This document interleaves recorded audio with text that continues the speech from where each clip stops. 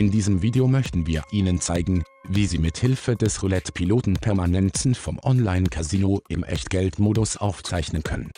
Als ersten Schritt starten Sie den Roulette-Piloten, danach können Sie eines von über 100 Roulette-Pilot unterstützten Online-Casinos starten. Welche Online-Casinos unterstützt werden, finden Sie im Casino-Register des Roulette-Piloten. In unserem Fall haben wir das Europa-Casino im Echtgeld-Modus geöffnet. Wie Sie sehen, haben wir uns für das französische Roulette am 10-Cent-Tisch entschieden. Danach öffnen Sie das Casino-Register des Roulette-Piloten und wählen das entsprechende Online-Casino aus. Nun wählen Sie im Kontrollcenter des Roulette-Piloten Permanenzen in tägliche oder gemeinsame Datei speichern. In unserem Fall haben wir uns für die tägliche Datei entschieden.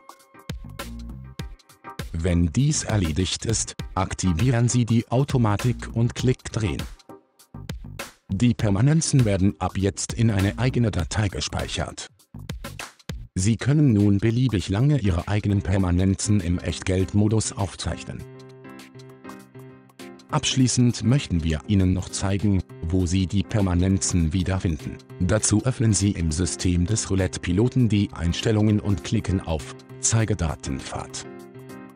Hier finden Sie den Ordner Permanenzen, in welchem Sie die aufgezeichneten Permanenzdateien wiederfinden.